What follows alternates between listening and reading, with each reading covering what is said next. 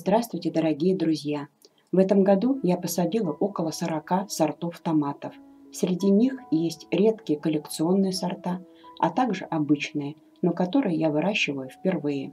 В своих следующих видео я расскажу о каждом сорте подробнее и поделюсь своими впечатлениями о них. Начиная с середины июля идет первая волна отдачи урожая тепличных томатов – Первые баночки кетчупа я закрыла вот из этих двух ящиков помидоров, собранных 19 июля. А третий ящик оставила на семена. Здесь 35 сортов томатов. Я помидоры пронумеровала и записала их расшифровку в журнал. Следующие два ящика собрала уже через два дня, 22 июля. Здесь большое разнообразие сортов и цветов томатов, от зеленых до черных. Вчера, 26 июля, собрала три ящика помидоров. Здесь созрели самые крупные сорта. Это вишневый Адзуси, самбол полосатый, большой полосатый кабан, кел красный и зеленый, гном жар-птица и многие другие. Обязательно о каждом из них расскажу подробнее чуть позже в следующих видео. Сейчас в горячую пору заготовок просто физически не успеваю монтировать ролики.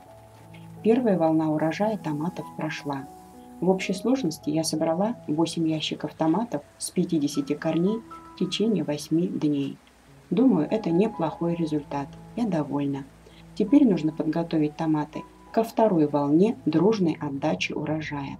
Вчера, после сбора созревших плодов, хорошо полила растения через систему капельного полива. Сегодня подкормлю удобрением барафоска, а вечером опрыскаю борной кислотой – то есть подготовлю их к наращиванию оставшихся плодов и завязыванию новых.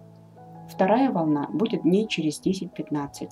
Это не значит, что мы будем совсем без помидоров это время. На кустах есть много бурых плодов, которые мы будем собирать для свежего потребления по мере их созревания. Но вот такой массовый сбор ожидаю где-то через две недели. За это время дважды подкормлю свои томаты. Первый раз барафоской, второй монофосфатом калия.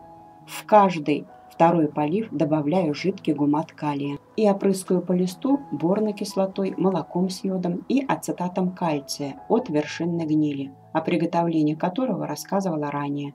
Ссылки в описании. Опрыскивание по листу провожу через каждые 5 дней, меняя очередность препаратов. Это коротко о нашем июльском урожае томатов. Всем здоровья, отличной погоды и хороших урожаев.